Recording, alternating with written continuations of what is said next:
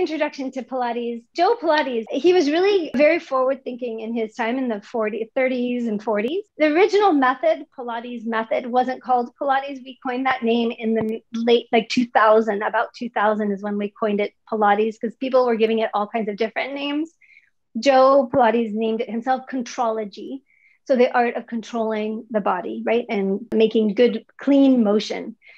And he was born in 1880 he was really ill and his doctors told him that he wouldn't survive past age 40 and he decided that i'm not going to subscribe to that. I'm going to find a way to keep myself super healthy. And in fact he did. He lived till his 70s his life's work was healing his body and then he decided that if he could do it for himself he could help other people do it too. And so that's how he developed his movement practice. During world war one he was working um, with rehabilitation of patients in hospitals. A lot of people were dying from secondary illnesses after World War One. So they'd go in the hospital because of a war accident and then they die of pneumonia. But what he was finding is that the people that he was actually moving in bed and exercising, they weren't dying or getting sick as often with those secondary illnesses as the others. So they were actually surviving more just because they were moving in bed and continuing to move.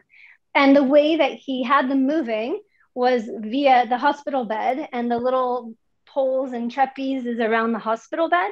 He started stringing up springs to those and elastics and ended up with this Cadillac. We call this one the Cadillac, the big with poles on both sides. And that's how that was the first piece of equipment that he invented was this hospital bed or now we call it Cadillac. I, everybody always asks me, where does the name Cadillac come from? And I have no idea how it came from hospital bed to Cadillac, but uh, maybe the Cadillacs of hospital beds. I don't know. And then the other piece of equipment followed after that. They all have a little cool story behind them too. Reformer is the moving one that we'll spend a lot of time on today to reform the body.